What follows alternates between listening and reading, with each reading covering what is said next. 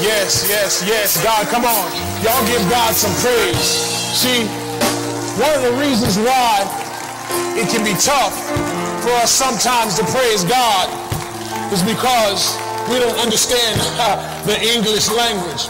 See, when you see God is, that means that right now, whoever God says he is, when we need God, God is all that we need while we're in the trouble, while we're in trials. God is. See, but we still don't get it. Is is the present tense. Was is the past tense. So God was good back there, which means he is going to be good here. Oh, y'all missing it. Y'all missing it. When you were going through, he was good. Now he is good. But here's the best part about it. Because he was good and because he is good, we can scream and shout because we know he's going to be good. Come on. Give God some praise. Y'all give God some praise. God is. He is my all in all. Hallelujah to the Lamb of God. Now this morning,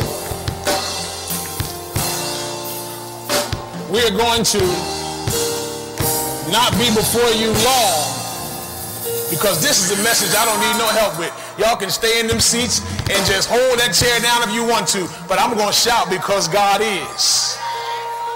Let's pray. Most gracious God, our Father, Lord, you are awesome, awesome, awesome beyond the belief. And God, it's because of who you were that I can be lifted up because of who you are and I can continue to press on because of who you're going to be. So God, we just come this morning thanking you for another opportunity to stand behind your sacred desk and impart your words to your people. Father, we pray now for this offering that we're about to take. Father, that we can participate in the worship by participating in the worship of giving. For Father, giving is worship. So God, I pray now that you would free hearts and free minds and free wallets. Lord, that they would give just as they remember you've given to them. God, we're going to thank you in advance for what your word's about to do. For Lord, we know that your word, if it sinks into our hearts, Lord, that it will convict. We know, Lord, if people don't know you as Savior, your word will convert and convince. So God, we thank you. We love you and praise you. In Jesus' name, amen.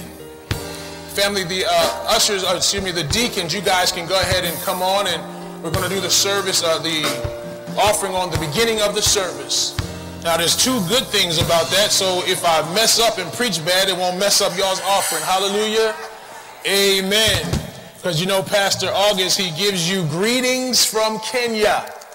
They're in Kenya today. They're, it's about 8 o'clock in the evening. He's already preached once and done a conference on this day, so pastor is still working even where he is. And one thing that we do know, Pastor Holman mentioned it last service when the pastor's not here, our offering suffers. So y'all, let's not let the offering suffer. Hallelujah.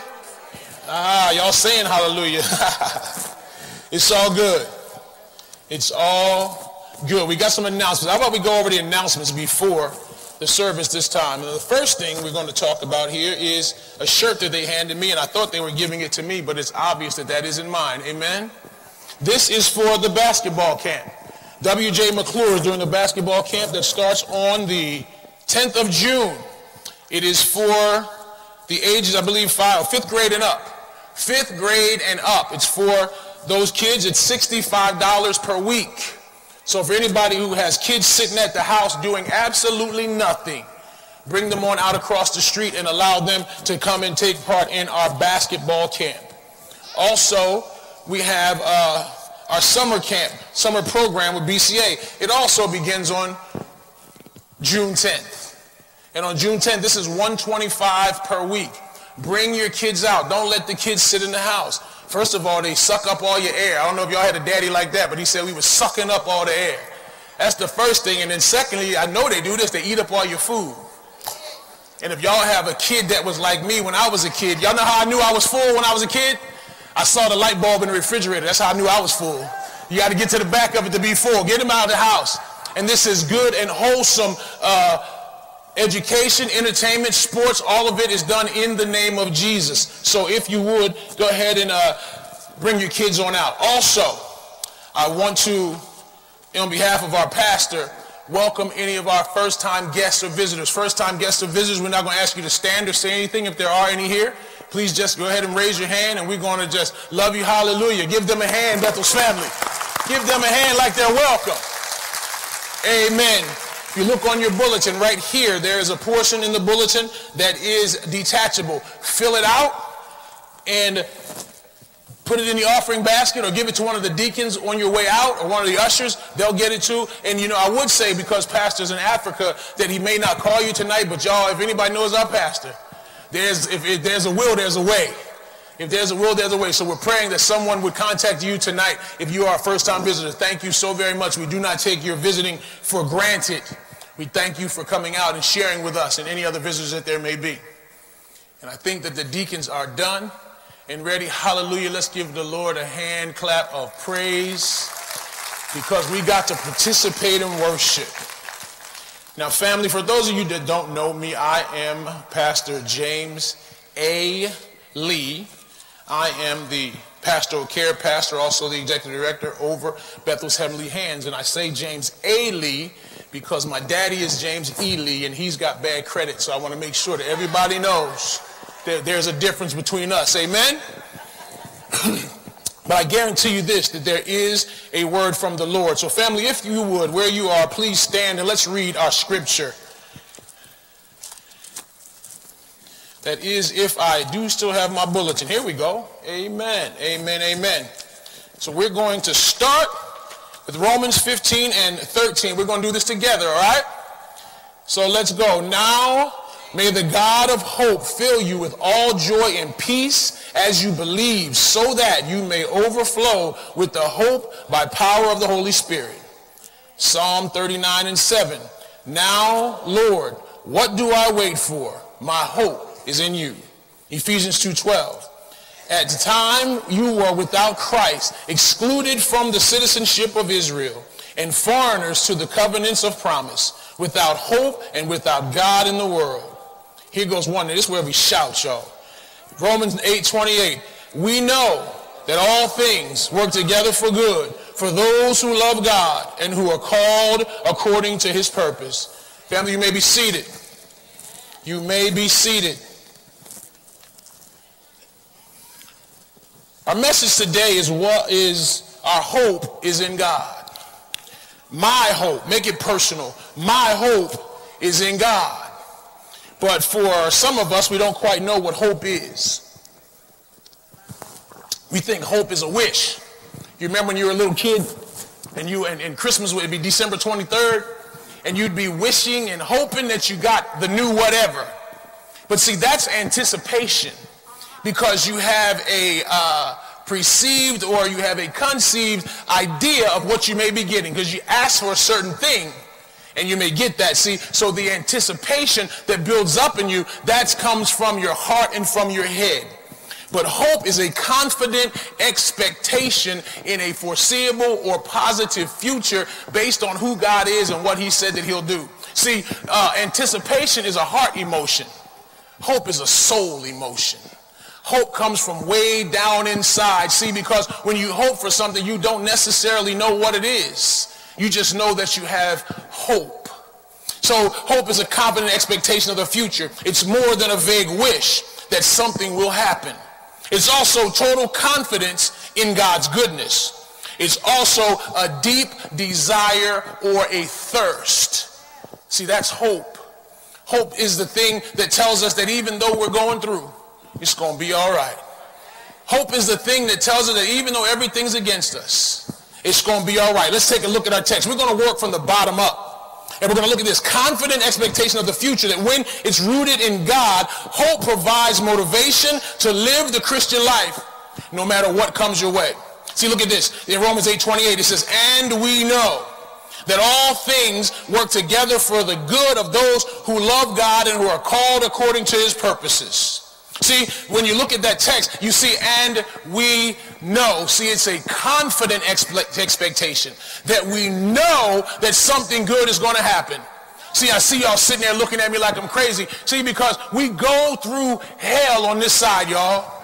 But we know that it's going to work together for good if we know God. See, now all the Baptists and all the church folks and the religious folks says, amen. See, it's an amen until something hard hits you. Like when you lose a child. Can you tell the parents of Maleah Davis that we know? Don't know if we can do that. Like when you lose a loved one. We just did three funerals this week, and we got two more coming next week. One was a funeral that was unexpected, of course, on our side, but not by God's side. So can you tell that wife and those children, and we know? When you are working and you go into work one day and you're excited, Brother Tracy, because I love this job, and they hand you a pink slip, and then you got to go home to your wife and say, baby, and we know it's going to be all right. See, that, that, that, that is hope. The only way you can get that hope is that you know who he is based on his goodness and what he will do. It says, and we know that all things will work together for good. See, you have to understand the all things, not just the we know. See, all things, good things and bad things, working in conjunction with each other, which will draw you into God. Because when you start going through some stuff, when you lose a child or you lose a loved one or life just seems to hurt you so bad, you have nothing else to lean on and trust on in, but not only the God of God is, but the God of God who was. See, do you realize that when God takes you through each and every struggle and trouble and trial in life, it's to get you to the point where you can have hope for what he's going to do and who he's going to be in the future? See, we can sit here and be churchy and say, and we know, Lord, we know all things work together for good. That's great until life punches you in your soul. That's great until you lose everything. That's great for you to get here and say that, but when you lose everything, you got to trust in the God who was so that you know he's the God who is. Therefore, you know he's the God who will be, and that's hope. See, when your soul hurts, when your soul cries out, is when you realize that you have hope in something that you can't see.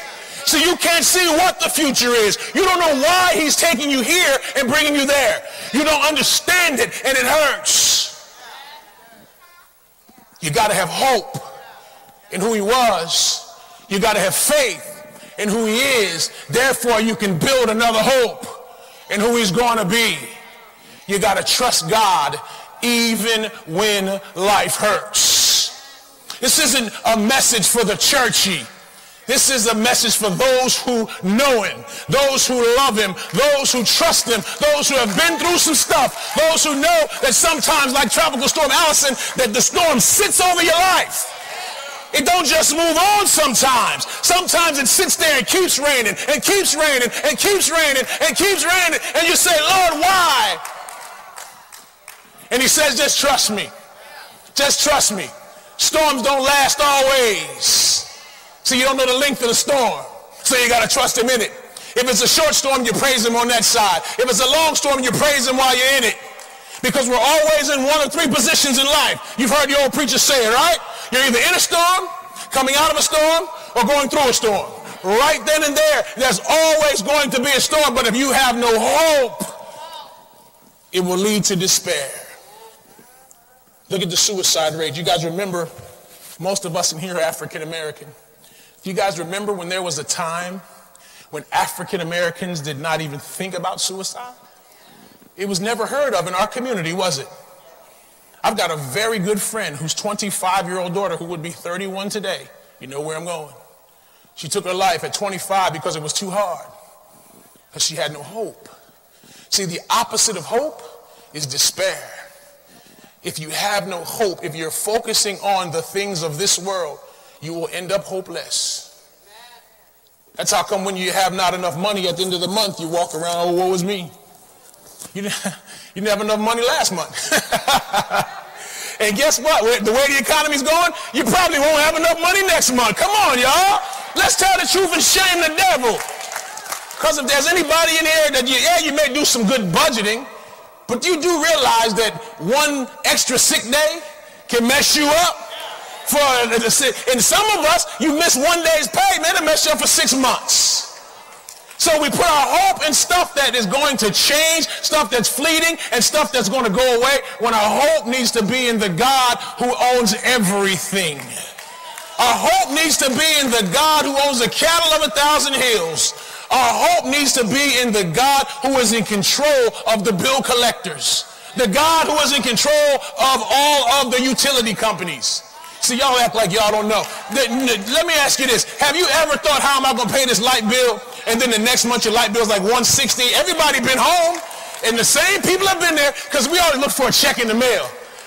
But sometimes just check to see if the, the, the, light bill has changed because you're using the same kilowatt hours, but your bill's a little bit different. See, God gives you hope in all things. You ever been hungry? I ain't talking about hungry because you don't like, you know, because we are so blessed in America. I ain't talking about the hungry when you open up the, the, the cabinets and look and say, what do I want? Oh, I'm so hungry.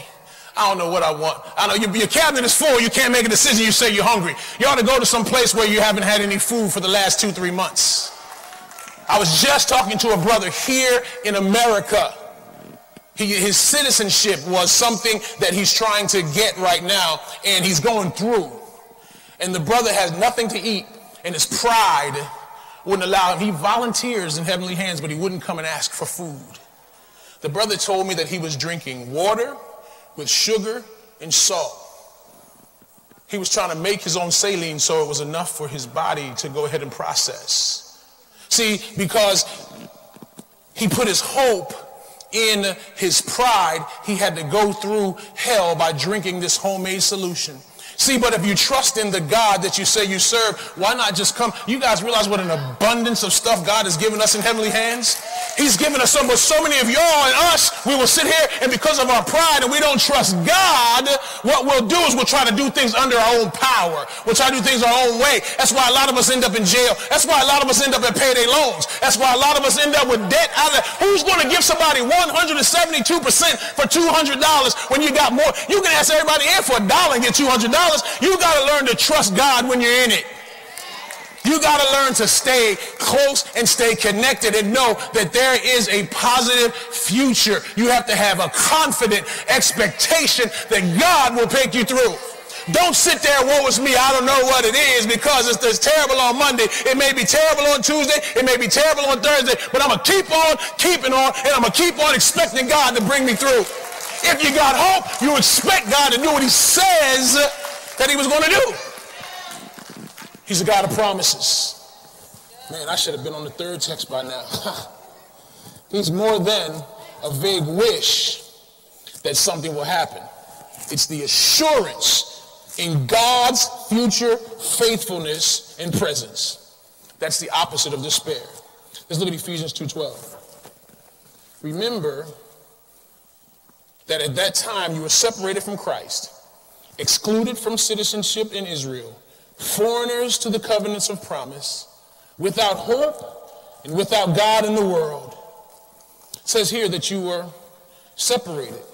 So you got to have hope when it feels like the whole world is against you. Anybody ever been there? Anybody ever been there? Go, go through a divorce and your mama said, I told you not to marry him or her. Huh? Anybody ever been there? How you, when you come home one day and you get a note, baby, I'm leaving. Well, who's to take care of these children? Huh? You, you, you go and you get in your car and you, you, you, you, you can't pay your car note. You get in it and, it and it won't start. You ever been there? It just feels like the whole world is against you. Then you go to work the same day and your boss is picking on you. And you're like, man, I can't stand this dude, but I got to pay the car note. Now I got to take care of these kids. This man, this woman just left me. What's going to go on? It feels like the whole world is against you. You feel like you're on the outside. Here in Ephesians, he's talking to us as the Gentiles, telling us that, look, there was a time and a point and a place in your life where you were not accepted into God's family. There was a time when only the Israelites had the law of God, so they were accepted in, but now there is no more separation. Now you're no longer by yourself. It says now you're no longer excluded. You ever feel excluded? Anybody here ever been excluded? Anybody here ever felt that way? See y'all looking at me crazy. Yes. See, now I tell you, I got a problem. I'm a middle kid and the only boy. So I got a, a, a thing with me where I always felt excluded. Tracy, I always felt like they didn't want me. My sisters, my daddy loved my big sister, and my, my, my mama loved my little sister. Nobody loves me. Woe is me, huh? But let me just tell you something. But when I, when I found Jesus, When I found Jesus, even though I know my mama loved me and I know that my daddy loved me, but nobody loved me like Jesus loved me. When you feel like you're on the outside, he said, you don't have to be on the outside. Come on in. The Bible says, come in and I will give you rest. You don't have to worry about feeling excluded or on the outside because you know that you know that you know that you know. It's not a wish. It's a confident expectation that God's going to take care of you through it. Because sometimes we are, are all, all by ourselves. System don't always work out for us. Sometimes you can't get the food stamps. Sometimes you ain't eligible for certain things. But God says, listen, listen, if you just trust me, if you just trust me. Remember the widow of Zarephath? I'll help you with that. Elisha came and said, look, I need you to take them last two little pieces of bread. I mean, your meal and your oil and make me a cake. Now, y'all know good and well. Y'all read the Bible and get all holy and say, yeah, look at God. Somebody came in your house. You got two pieces of bread and one of them little packs of peanut butter. You and your child about to die. We're going to eat this and die is what she said. And then the preacher coming in and say, hey, give me that bread. Give me that peanut butter. Show of hands, who's going to do it? Thank y'all for being honest. Only you church folk in here that raise your hand, you Baptists. Let me, but let me tell you something. And, and here's the thing. That's the reason why most of us feel excluded and left out because we do not trust in the God of hope. See, when she trusted in him, not only did, did she get fed, but her son got fed. They didn't even know how the jar kept getting filled. But it kept getting filled. There was enough there for everybody. There was an abundance after she had given God, given it to the man of God for God. She was obedient. Our obedience keeps us from being able to have hope. Our disobedience keeps us from being able to have hope. We don't chase after the things that God has asked us to chase after. Sometimes God says, give up your family. Sometimes God says, give up your friends. Sometimes God says, says give up that marriage. Sometimes God says give it all up. If you just give it up and trust me, I promise you, look on the other side. I'm going to help you make it through. I will help you make it through. I'll share this. I'm going to tell you right now. A lot, a lot of you know. My lovely wife sitting right here. Uh, this is my second wife. My first wife didn't work out because the closer I got to God, the further she got from me. And I'm struggling, y'all. I'm so, how, how does this work, Lord? Tell me how this works. But I got closer and she got further. I got closer and she got further. And then finally our marriage ends up over. I'm not from no divorced folk, y'all. Grandmama was married to granddaddy no matter what he did. Can I get amen? Mama was married to daddy no matter what he did. I had a Friday night leave, daddy come back on Monday. Hallelujah. Yeah, it, it, it, and mama said, hey, it is what it is. Bills paid, let it happen. I, am not from, they didn't do that when I grew up. So I'm struggling. I'm struggling. I can't figure it out. God, what is this? But I know this. The God who brought me through when I was going through so much stuff. Two years later, Lord, y'all, the most wonderful woman just showed up in my life. And I, I wasn't out there looking. I was not, I was a single dad. So I had some issues, man. Some sisters used to be like, who do your baby hair? You know, because I was a single dad, and y'all know how it is. I'm taking care of four kids. That's a good man. I'm going to get me a good man. Huh? I had to run them off. I know I ain't that good looking. I ain't even trying to pretend like that. But I had some qualities that some women were looking for. And some church women, but it wasn't what I was looking for. Because here's what I did. I started chasing God. And I started running as fast as I could after God. And as I'm chasing God, I'm looking this way. And I got my eyes on the prize. And I look to my right. And then, who was that?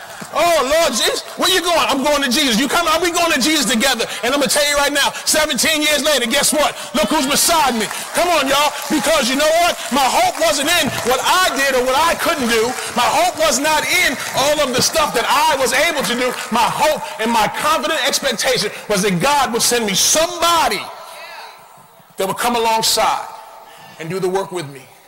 Y'all seen us, we work in ministry. Let me tell you how good she is. She took me with three kids. And a couple of them pretty bad, y'all. a couple of them was pretty bad. A couple of them was pretty bad. But she was, she came from some whooping folk. And the blessing. And that's how you know when somebody loves your kids, believe it or not, when they will discipline them. When they will discipline them. See, so it was more than a, a, a vague wish, but it was an assurance of God's faithfulness and God's presence. He said, just trust me. I see your marriage failing. Just trust me. I see you with these kids. I had a daughter. She's sitting right there with my grandbaby. I had a daughter who, who did do her hair. She got a picture on fourth grade. She got a plaque going this way and one going that way. But I'm gonna tell y'all what, I was chasing Jesus more than I was chasing fashion. Baby, you might look bad, but daddy ain't gonna mess y'all up. And I wasn't gonna mess him up because I chased him and he assured me that it was gonna be all right. Three college graduates, one in the military. They're all still crazy, but guess what they all got? They got Jesus. So now they have hope because two of them have children. And I see them going through sometimes with their children. My granddaughter's right there. I can't believe she's still, she must be asleep. Oh, she went to children's church. Hallelujah. She's the polite devil. I'm sorry for stealing your candy. You know, she tell you she's sorry after she stole your candy. But it's that assurance. Uh, we have to have a total confidence in God's goodness in the face of despair. Look at this. But Lord, but now, Lord, what do I look for? My hope is in you. See, sometimes we can do some good stuff thinking that God's going to rescue us or thinking that God's going to be with us because a lot of us are churchy. And David here, what was going on in David's life? David said, look, God, I've kept my mouth. I haven't acted a, you know, acted a fool in front of sinners. Uh, stuff is happening and I haven't cried out and, and cursed you. But then I realized that it was you who was causing my affliction. He says, but now, Lord, where do I look? because my hope is only in you.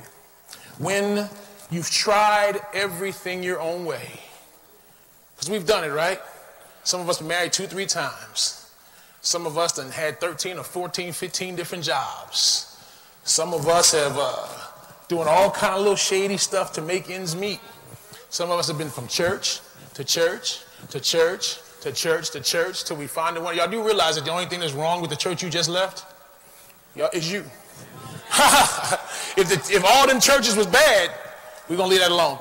Uh, so we've tried to do this stuff under our own power and under our own control and based on who, who we are and what we can, that's going to lead to despair because you're going to hit the wall every single time. Because eventually you'll come to the end of your ability and to the end of your power. You're going to come to the end of it. How many of you have been on 15 interviews and, and still don't have a job? Huh? Come on. How many of you, no matter how many times you try, you can't pass that board exam? Come on. How many of you, no matter how many whoopings you gave your child, he still acted a fool? Huh? How many? How many? See, but but when you keep trying to do things under your own power and your own way, you realize just how flawed you are. But here's the good thing. When you trust God, you realize just how strong he is. Because those same children that you had to keep on whooping, now they're 29, 30 years old, and they say, Daddy, I went to church today, and I think I, am going to go ahead and join. You got to understand that when we trust and we hope in God and all the stuff that we put in our children, we trust in them and no longer trusting in, in ourselves, you'll see a future and an outcome that you could never imagine. My mother, my mother, now, one of her baddest kids was named Jim Jim. Trying to figure out who that is, ain't y'all? Y'all, y'all know my people? Was me. You couldn't stop me from doing what I wanted to do, when I wanted to do it, how I wanted to do it. I got four whoopings in one day, two for the same thing, because I thought I could get away this time. Never said that I was the smartest. And uh, all through school, I got suspended six times in 11th grade. Six times, y'all Baptists quit judging people. Y'all hear him? Oh, yeah, I just said I was bad. It's all right. It's all right. Uh, I got, I got, almost got kicked out of college, so I just left. Uh, was arrested one time for stealing a money order for $130. Oh, I was smart, wasn't I? All of that, and all my mother did was keep on praying. All my mother did was keep on trusting. All my mother did was keep on believing. And then what happens is 15 years later, now I stand here before you today trying to impart God's word because the one thing she did was she got me to Jesus. She made sure that I plant the seed of Jesus Christ in this child, and then my hope is in the Lord. My hope is in what Jesus Christ can do, no longer in what I can do. So all the time when you're thinking it ain't gonna be enough, and this kid is working, is working my nerves, and I don't know how I'm gonna make it through, just get him to Jesus. You get him to Jesus, and I guarantee, and I promise you this, God promises you this, that the foreseeable future will be a good outcome. Well, there will be a good outcome because you have to hope in the God of hope and not hope that you're doing the right thing. Don't wish, but have hope. Lastly, look at this. Romans 5, 15, 13. May the God of hope fill you with all joy and peace as you trust in him, that you may overflow with hope at the power of the Holy Spirit. Now, uh, we tried everything else. Let's give the God of hope a try. When you're full of joy, Every day is sweeter. Every night is more restful. And every room that you had there, if there's no room for pity or despair because you'll be full of hope. Let me tell it to you like this. I've shared my testimony more than one time. But I'm going to tell you. I know who the God of hope is. Because, see, when you see me walking around here with a smile on my face, I'm not happy I got joy. I got joy deep down in my soul because when I was out there chasing after dope, when I was out there chasing after foolishness, God still covered me. He still kept me. And I know this. Anybody ever been out there, spent all your money on some drugs? Can I get it? Ain't nobody, no Baptist gonna talk up in here. I've been there. You wake up on, on a Saturday morning, you got a dollar fifty left. You been there? Have you ever been someplace where you understand and you're laying in your bed at night because you did something shady and you don't know who's gonna knock oil and knock down your door? Have you ever been there? There? Have you ever done something, drank something, slept with someone or something? Have you ever done that and realized that you know what, this ain't right? And you can't get no rest, you have no peace, you have no joy. But I'm going to tell you this the God of hope says, you know what I'm going to do? Because of the blood of Jesus Christ, I will erase every single bit of that. So now, whenever you're going through, you can look back and see where you used to be. When I used to walk a certain way, when I thought I was cool and I thought I was somebody and dress a certain way, think and act a certain certain way, he erased every bit of that. So now I can walk upright because I'm headed, I'm headed over here to where the hope is. I've got a confident expectation that God is that, that kept me over here. The same God that's keeping me right here is going to take me over to there. I have a hope. I don't know what the future is. I don't know when your pain is going to break. I don't know when your breakthrough is coming. I have absolutely no idea. But I know if you trust in the God of hope, it's coming. It's going to be there. You got to trust him. You got to trust him. I can tell you, I sit in a room with people in my family that got more degrees than me, more money than me, more prestige than me. But when they need a lightning rod, when they need some hope, they say, Jim, Jim, what do you think?